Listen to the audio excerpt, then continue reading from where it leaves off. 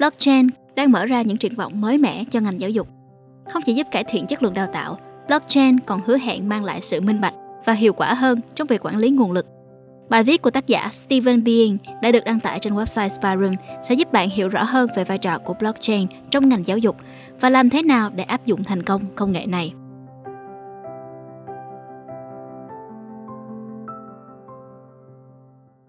Bạn yêu thích những video về kinh tế tài chính từ Spider Room và muốn tìm hiểu thêm nhưng không biết bắt đầu từ đâu.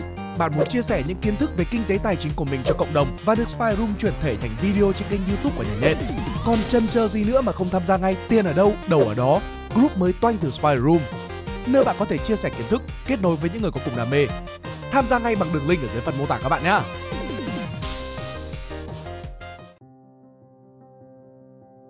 Giới thiệu về blockchain và ngành giáo dục Blockchain là một công nghệ lưu trữ và truyền tải thông tin dựa trên hệ thống chuỗi khối. Thông tin trong blockchain được mã hóa, phân tán trên nhiều máy tính và không thể bị thay đổi, đảm bảo tính bảo mật và minh bạch. Blockchain cung cấp cơ chế cho việc trao đổi thông tin và giao dịch một cách an toàn, minh bạch và không thể phủ nhận. Để giải thích kỹ hơn về blockchain, Spyroom đã từng cho ra mắt hai video là blockchain cho gã khờ và blockchain là gì. Các bạn có thể xem qua nhé. Ngành giáo dục một trong những ngành quan trọng nhất đối với sự phát triển của xã hội, đang đối mặt với nhiều thách thức. Nhu cầu đào tạo ngày càng tăng, chất lượng giáo dục cần được nâng cao và việc quản lý nguồn lực cần được tối ưu hóa. Công nghệ đóng vai trò quan trọng trong việc giải quyết những thách thức này. Tại sao blockchain lại quan trọng trong ngành giáo dục? Blockchain có thể giúp cải thiện ngành giáo dục theo nhiều cách. Đầu tiên, công nghệ này có thể tạo ra một hệ thống quản lý hồ sơ học sinh và giáo viên an toàn và minh bạch.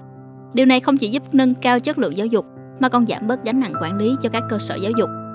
Thứ hai, blockchain có thể giúp nâng cao minh bạch trong quá trình đánh giá và cấp chứng chỉ.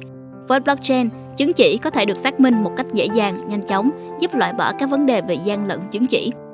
Cuối cùng, việc sử dụng blockchain trong giáo dục còn giúp tối ưu hóa việc phân bổ nguồn lực Công nghệ này giúp giảm chi phí và thời gian liên quan đến việc quản lý và theo dõi nguồn lực, từ đó giúp các cơ sở giáo dục hoạt động hiệu quả hơn. Ứng dụng thực tế của blockchain trong ngành giáo dục Đầu tiên và quan trọng nhất, blockchain có thể giúp giảm thiểu gian lận bằng cấp thông qua việc tạo ra một hệ thống không thể thay đổi để lưu trữ và xác minh bằng cấp. Điều này giúp các tổ chức giáo dục và nhà tuyển dụng có thể dễ dàng xác thực các bằng cấp mà không cần thông qua các quy trình rườm rà Ví dụ, trường Massachusetts Institute of Technology, tức MIT, đã sử dụng công nghệ blockchain để phát hành bằng tốt nghiệp cho sinh viên kể từ năm 2015. Blockchain cũng có thể được sử dụng để lưu trữ và quản lý hồ sơ học sinh một cách an toàn và minh bạch. Các thông tin như điểm số, thông tin học viên, sự tiến bộ và thành tích của học sinh có thể được lưu trữ trên một blockchain, giúp việc quản lý và truy cập dữ liệu trở nên dễ dàng hơn. Blockchain còn mang đến khả năng tạo ra mô hình giáo dục ngang hàng peer-to-peer, trong đó học viên và giáo viên có thể tương tác trực tiếp với nhau mà không cần qua trung gian. Ví dụ, công ty startup BitDegree đã sử dụng công nghệ blockchain để tạo ra một nền tảng giáo dục trực tuyến peer-to-peer, giúp học viên có thể chọn ra các khóa học theo yêu cầu và giáo viên được thanh toán trực tiếp từ học viên. Dựa trên công nghệ blockchain, các hệ thống tài chính mới như học phí di động và quỹ học bổng có thể được tạo ra để hỗ trợ học viên Ví dụ, chương trình Blockchain in Education của European Union đã tiến hành thử nghiệm việc sử dụng blockchain để quản lý học bổng và học phí. Ngoài việc cung cấp giáo dục, các trường học và tổ chức nghiên cứu cũng có thể sử dụng blockchain để lưu trữ và chia sẻ kết quả nghiên cứu của họ. Điều này không chỉ đảm bảo tính minh bạch và công bằng trong việc chia sẻ thông tin mà còn tạo ra cơ hội cho việc hợp tác nghiên cứu quốc tế. Như vậy, qua những ứng dụng thực tế của blockchain trong ngành giáo dục, ta có thể thấy rõ sự linh hoạt và tiềm năng của công nghệ này.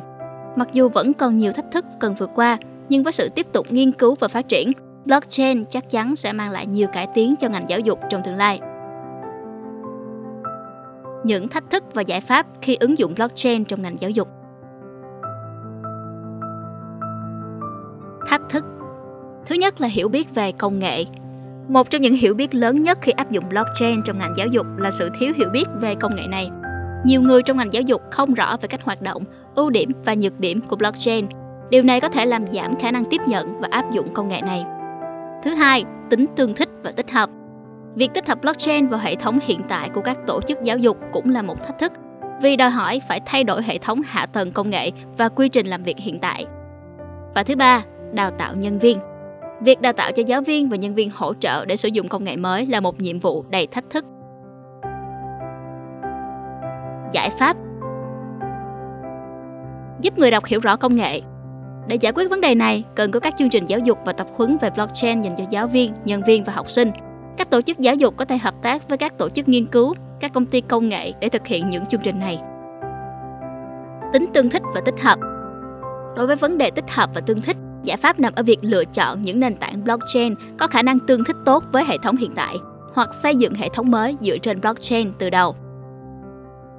Đào tạo nhân viên Đối với việc đào tạo nhân viên, cần thiết lập các chương trình đào tạo và hỗ trợ kỹ thuật liên tục để nhân viên có thể cập nhật và nâng cao kỹ năng sử dụng công nghệ mới.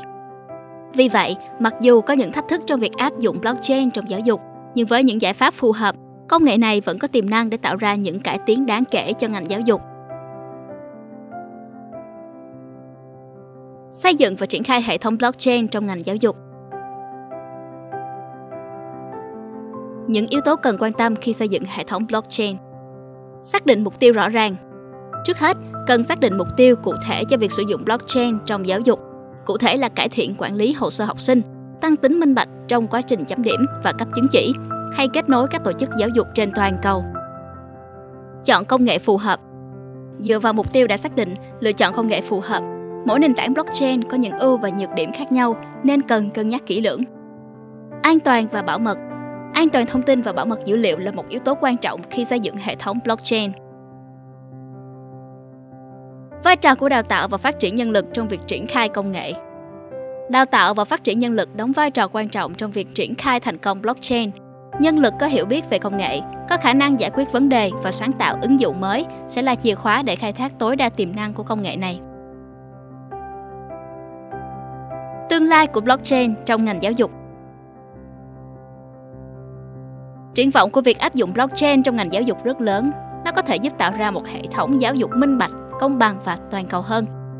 Blockchain cũng có thể giúp giảm bớt sự phụ thuộc vào các tổ chức trung gian, tăng cường quyền lực và quyền kiểm soát của người học về thông tin và hồ sơ học tập của họ. Đặc biệt, việc tiếp tục nghiên cứu và áp dụng blockchain rất quan trọng. Công nghệ này vẫn đang phát triển và có rất nhiều tiềm năng chưa được khám phá.